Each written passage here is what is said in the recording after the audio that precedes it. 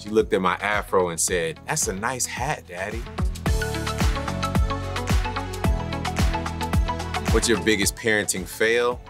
I wouldn't call it a fail. I, my job requires me to travel a lot, and I wish I could be home more.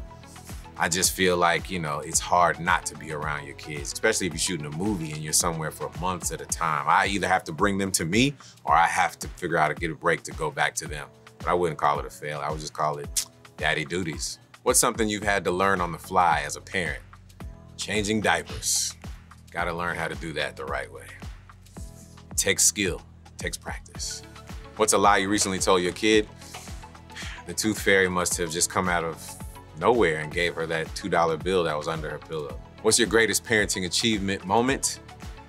Man, whenever my kids read to me for the first time, you know, early on in life when you try to teach them to read, you've been reading to them all the way up to this point, and then they read their first sentence on their own. It's one of those tear jerker moments for sure. What's your favorite part about being a dad? The love that gets reciprocated, knowing that you are paving the way for someone that is going to be the future and help shape the future into what we want it to be. What's something you swore you'd never do as a parent that you do now? Dress up in Halloween costumes with them, go to ballet, recitals, do things that they want me to do that I don't particularly want to do. That's love. What's a trait of yours your child has you wish they didn't? Ah, trying to outsmart every damn body.